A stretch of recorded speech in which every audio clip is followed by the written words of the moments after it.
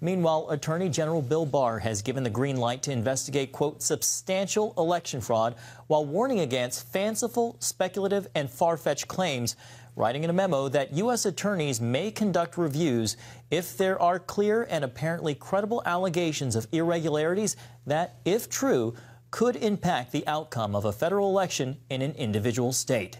The Trump campaign's legal machine shows no sign of slowing down, filing two new lawsuits Monday in Pennsylvania and Michigan and making good on a promise for more election litigation.